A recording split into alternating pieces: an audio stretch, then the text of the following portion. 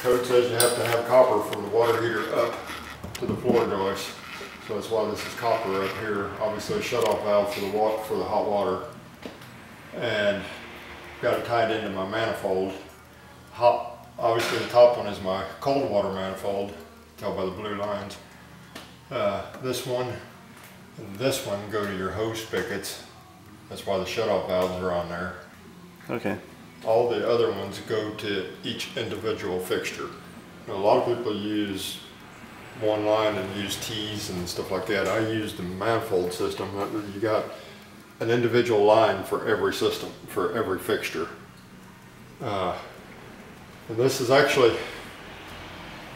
this particular style or brand of PEX is, it's called Rehau, but I think you can also use Uponor. This brand right here is actually Uponor brand, but all the uh, all the fittings and everything is. Rehau. A lot of them use uh, a barbed fitting, and you just slide the hose over the top of it, and they use a snap ring that goes around them and crimps them down.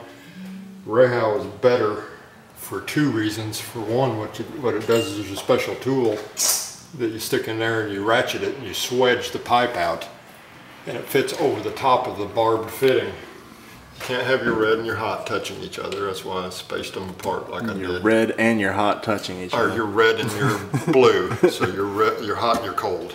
Okay. Uh, you have to stay at a minimum of 18 inches off the outer wall. So that's why I started right here and worked my way down.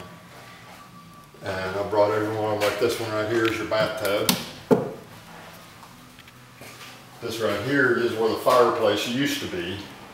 So technically this is the end of my run, so that's why I had to jog over here and go 18 inches from here over to here. And it's all darkness down here. Yeah, well, this one goes over to your kitchen sink. That one goes over to your hose, outside hose spigot.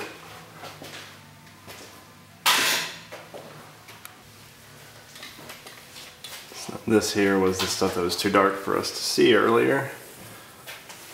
Which, that goes to the ice maker and the refrigerator, No. correct? This is your kitchen sink. Oh, This is your cold and your hot for your kitchen sink. This goes over there outside for your outside hose spigot. well, that's right, you confused me because you just said kitchen sink over there, but that's because the drain goes through the wall for a bit. Drain goes through the wall, right? Why your kitchen sink drains right here, but the water supply is over there because it cuts through the wall and cuts over. Okay. And the reason I put all this up in here is so you got your, still got your ceiling height through here for your eventual room you wanna build down here. Everything is up in the ceiling, or in the floor joist, whatever. Better look at the This right here two lights.